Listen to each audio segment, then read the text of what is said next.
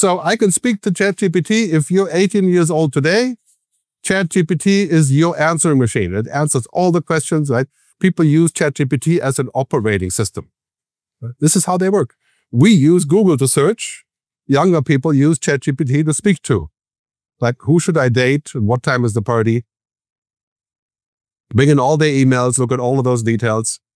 Right? It's a changing world that we're seeing here. This is what's happening. I know this is a scary fact, but these are the human things that we do. Language understanding, image recognition, mathematics, code generation, and the graph all goes towards one place. Machines can do it. Very soon, all the call centers will be automated. 21 million jobs. Because as soon as the machine understands Spanish or English in basic variation, I will talk to a robot and the robot can handle 50,000 calls at the same time. And already many companies are replacing customer service with a chat bot where you can talk to or you can type. Very soon you can do video. It'll be a real person appearing in video as an avatar that you speak to in any language you want, solving your problem. Okay? That is because machines can do it. So we see that and it's kind of like, it could be heaven or it could be hell. Could be heaven if it works and it's accurate. You go to the doctor, but you only go after your intelligent agent has checked your body, has looked at all the facts and says, you know, you probably have an infection or you don't have to go to the doctor. It's just, you know, COVID again or whatever, right? So then we use that as a way to lower costs, for example, for healthcare. But it could be hell if the doctor sees you and he doesn't make his own decision. He just follows what the AI says. Yeah? So we don't have an actual human responding. So artificial intelligence is really a platform for everything now. It's like the printing press, like the internet, like the computer. It's a platform. It will be used absolutely everywhere. It will take longer here for the simple reason that there are people doing a lot of low paid, medium paid work that is hard for the computer to do, but not for very long. Right? Editing, newspapers, writing, creating videos, customer service, financial advice, legal advice, paralegals. You know, yeah, ChatGPT makes a very good paralegal. Can you trust it? Not really now, but eventually, yes. It will be 98% accurate. So we have to think about this and see where it's going because that's kind of like the general trend as we see these agents popping up everywhere. So I used ChatGPT to ask the best hotels in Lanzarote. It took him about two seconds to come back with a result. Predictably, of course, Lani Suite and, and the, the Palacio Eco and so on and so on. And now I can use this as a search engine.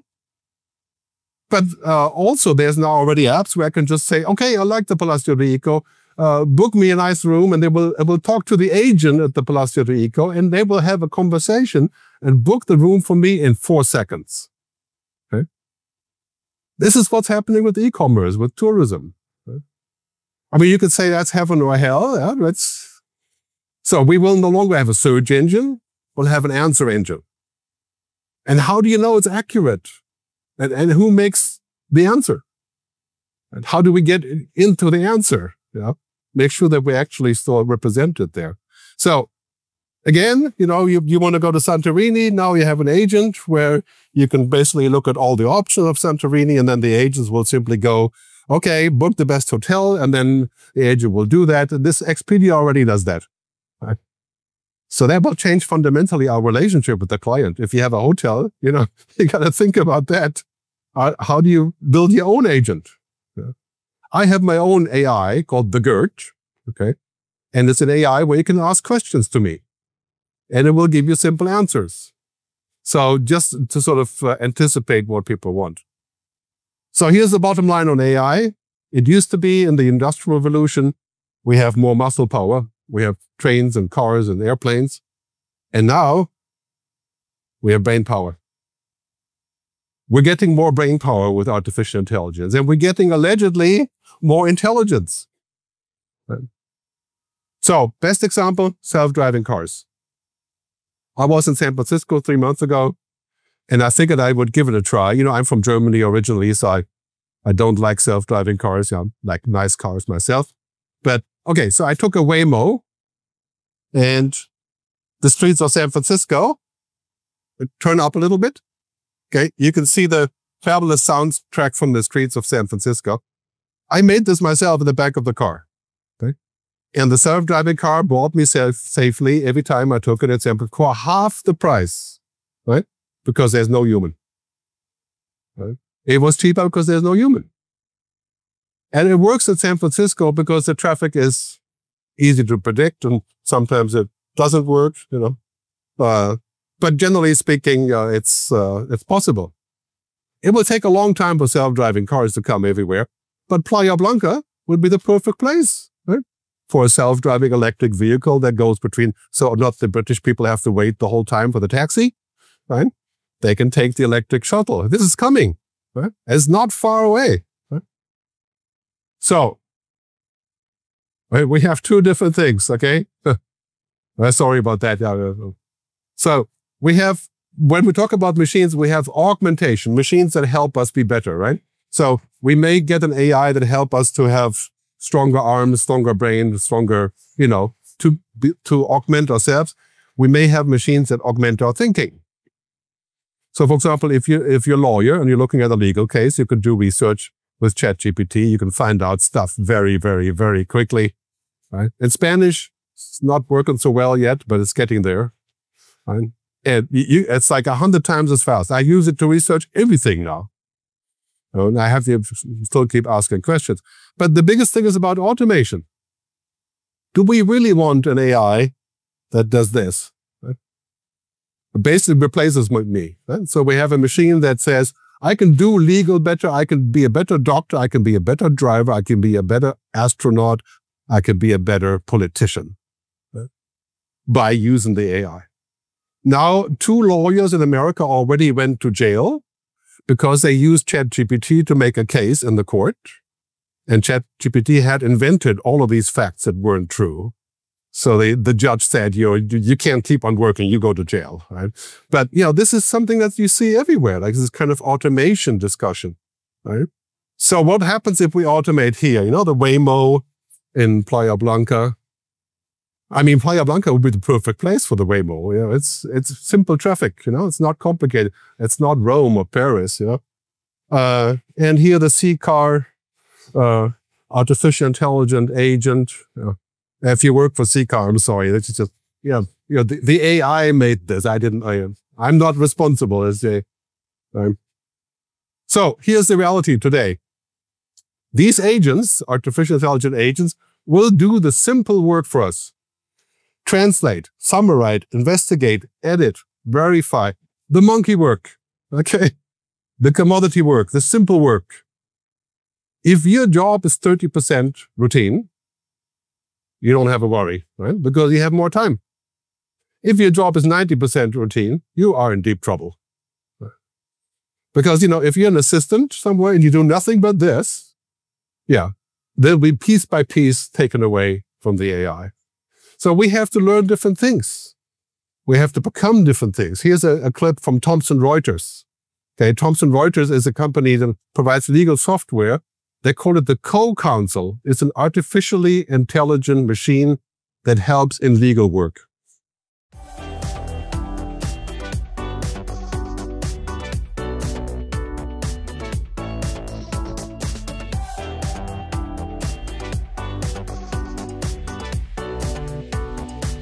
So this is really interesting because I uh, I looked at this in great depth, and it's really the lawyers love this because they can be faster in getting going, and then they take over.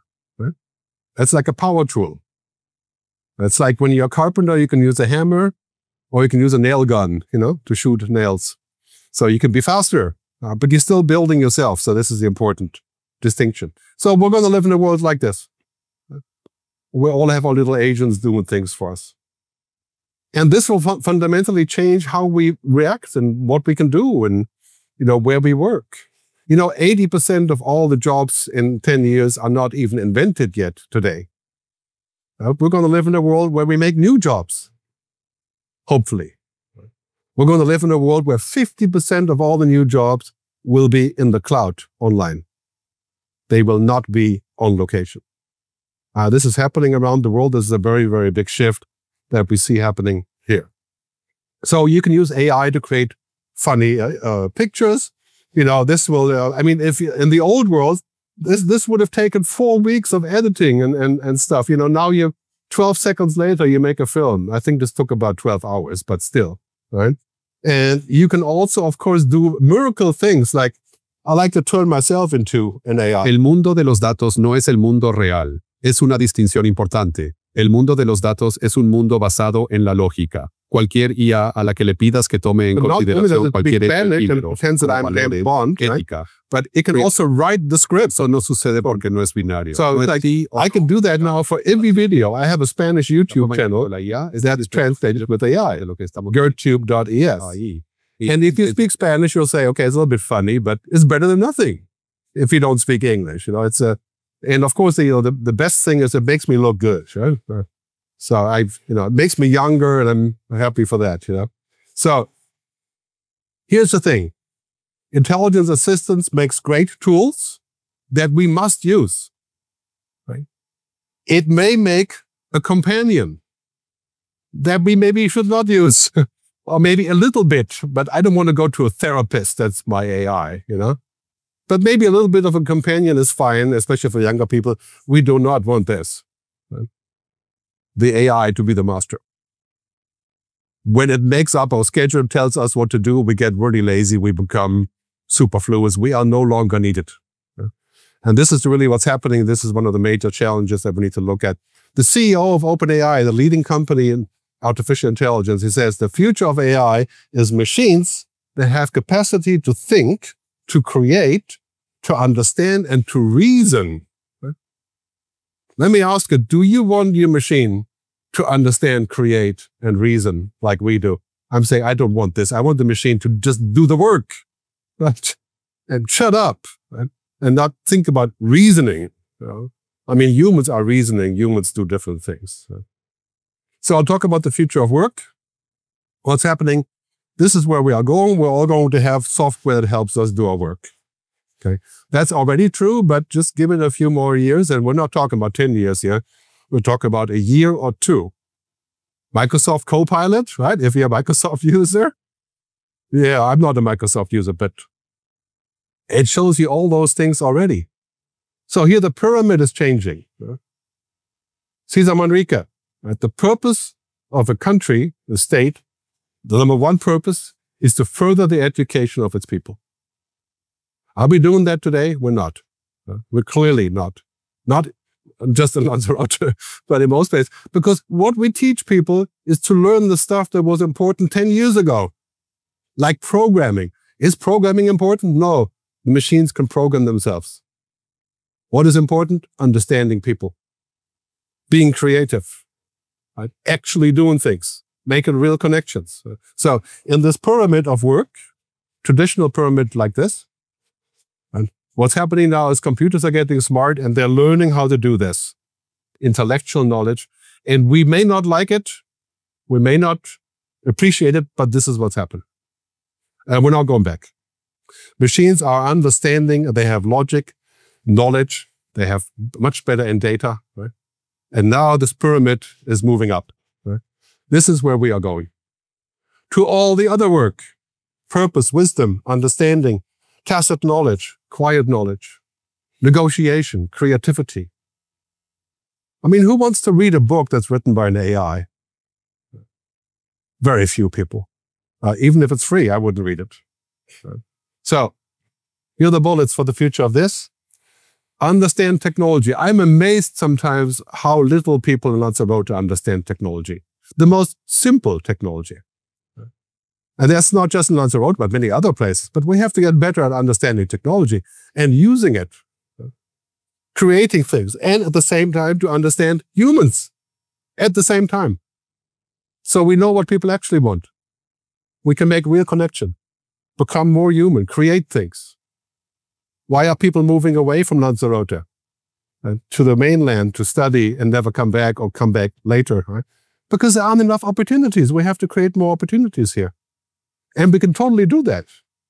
It's just that we know we never really paid much attention. Improve communication.